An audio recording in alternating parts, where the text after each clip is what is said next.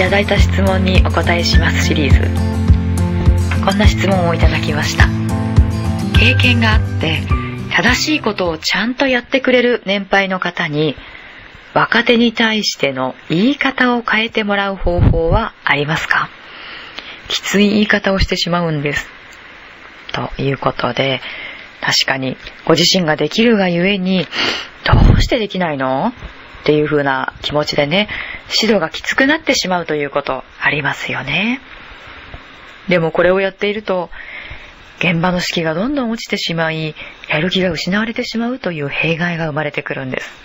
そのことをきっと懸念されてるんですね。そうですよね。経験がある先生は今だけ見ると素晴らしい先生だと思うんですけれども、実はその先生も最初から素晴らしかったわけではないはずなんですね。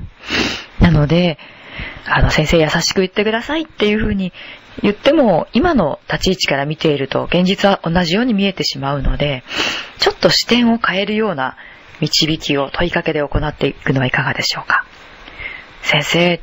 先生って最初からそんなにいろんなことが分かっていろんなことテキパキ動けて素晴らしい先生だったんですか？私すごいダメダメだったので先生みたいなそういう起点が効くあり方、すごく憧れます。なんていうふうに言ってみるんですね。でそうすると多分、まあそうよっていう人は多分いないです。で、そんなことないわよとか多分謙遜が始まるんですよ。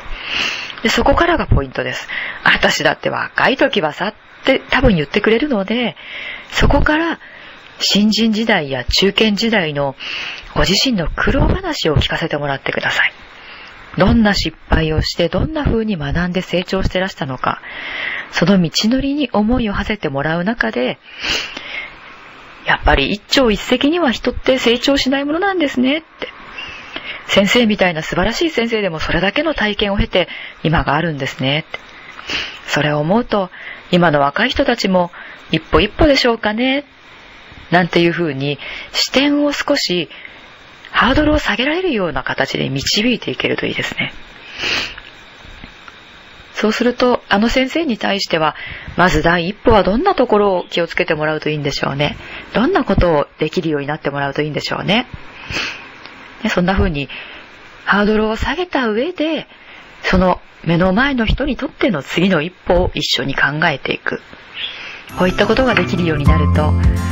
お互いに楽になるのではないでしょうか。